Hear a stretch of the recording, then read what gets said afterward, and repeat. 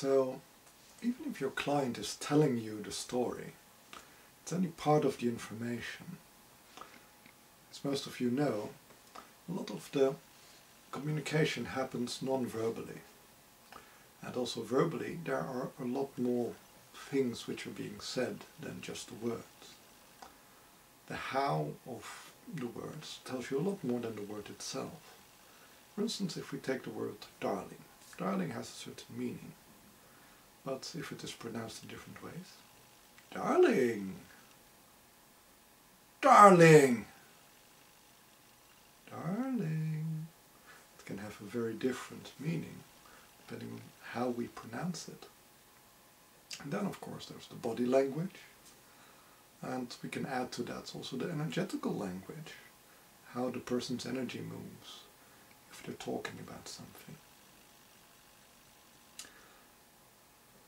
Choice of words is often, yeah, what you could say Freudian, because it's an associative process and if there are certain emotions going on inside the head, the choice of words will tend to reflect that. But also the speech patterns will tell a lot of what is really going on. And to really understand the speech patterns, we have to understand also, you could say, the, um, the cycle time of different processes. So the brain moves relatively quickly, facts move relatively quickly. So if a person is giving a very factual account, they can, they will typically talk quite quickly. So um, my boss is called Charles, my co-worker is called Anne, and I have uh, uh, three clients called Tom, Jerry and Mickey.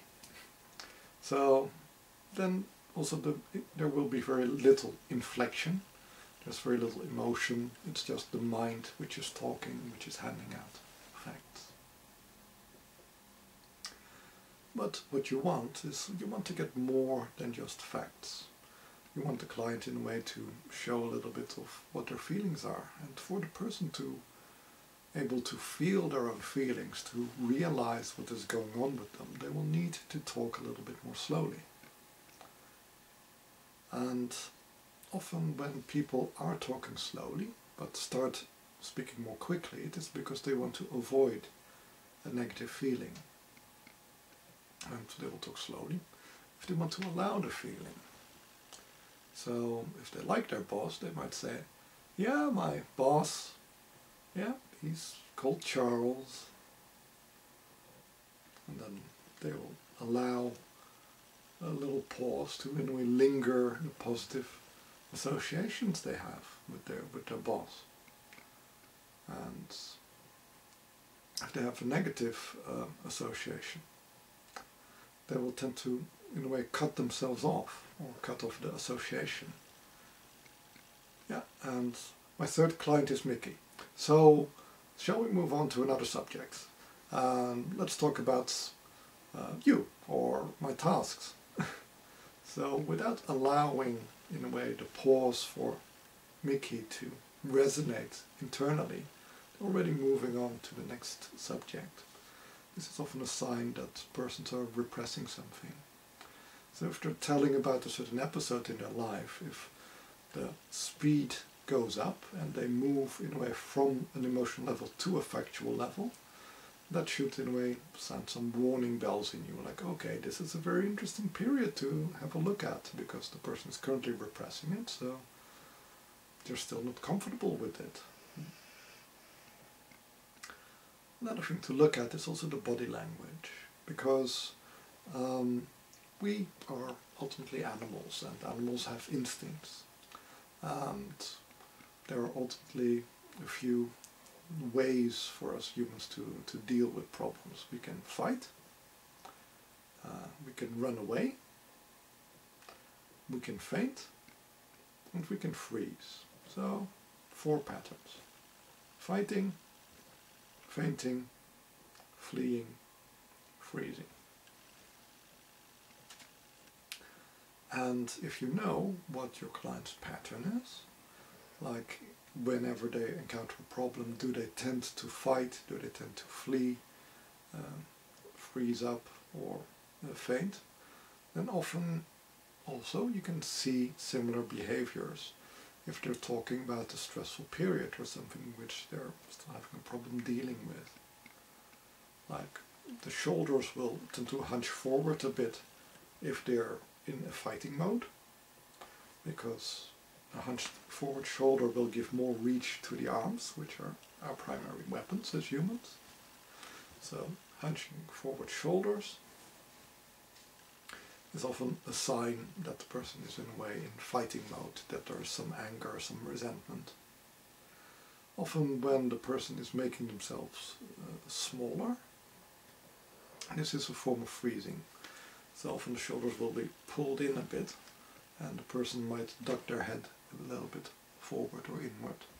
So the person will hunch up a little bit uh, when they're afraid or uncomfortable with something. So this is often a, a hiding mode or a fleeing mode um, they get into.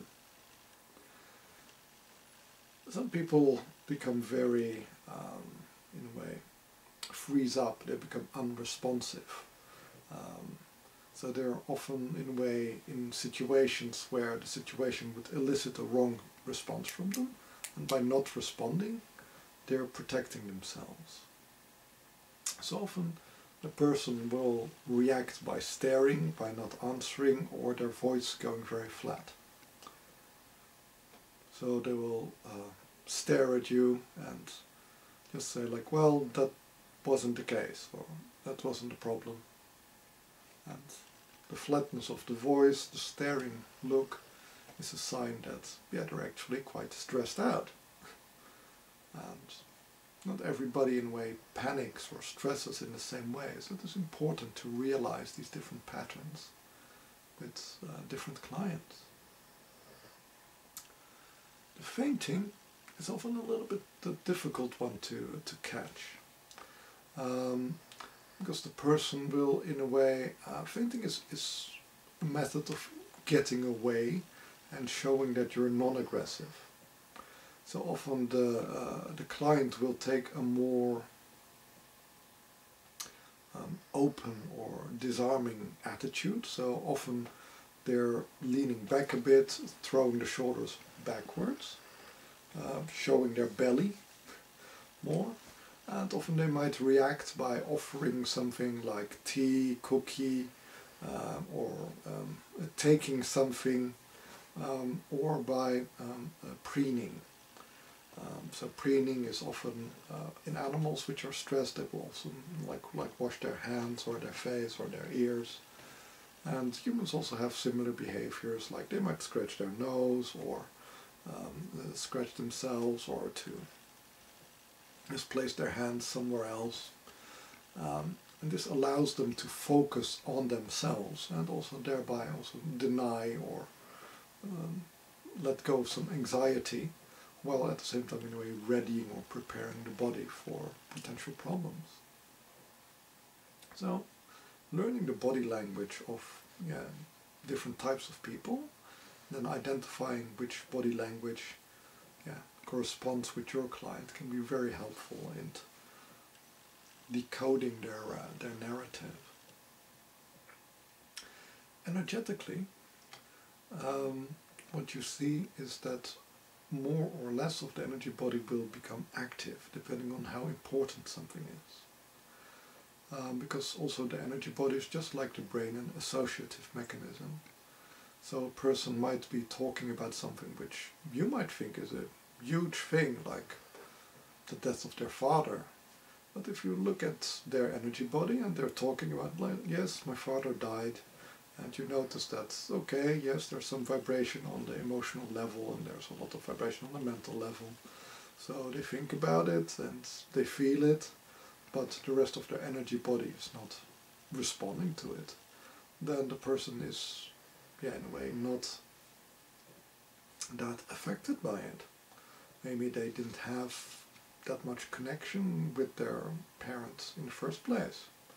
Or maybe they're just good at dealing with, uh, with such instances of yeah, sudden loss. And these to them are not problematic uh, situations.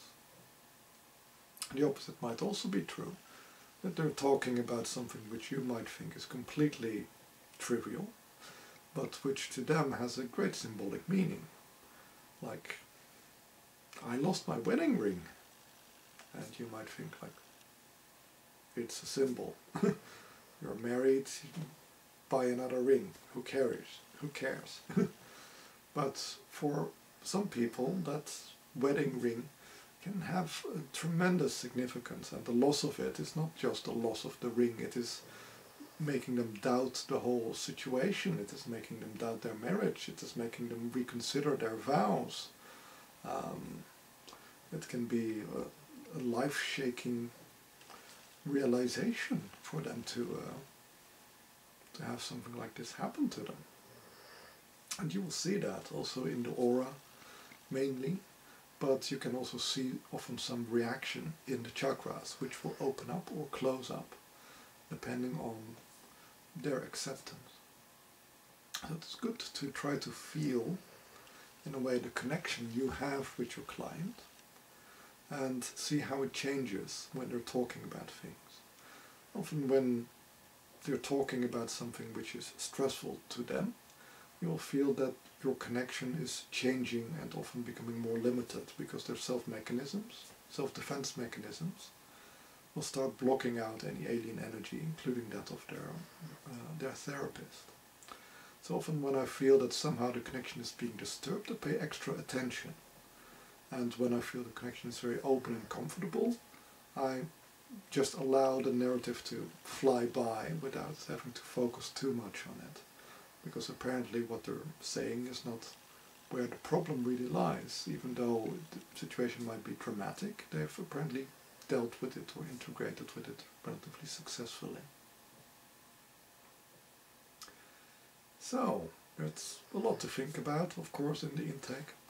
And you can't do it all consciously all of the time but try to develop a meditative attitude so part of you will notice these things or can reflect on these things and allow yourself also to take control over that intake process. Just allow yourself to say like, okay, wait a moment, let's look at this a little bit more deeply or isn't there more here? Can you tell a little bit more about it? And then you slow down the narrative so to create more space to explore this point which is causing the stress. So I hope this will be a helpful tip in uh, working with the unspoken layers of the intake.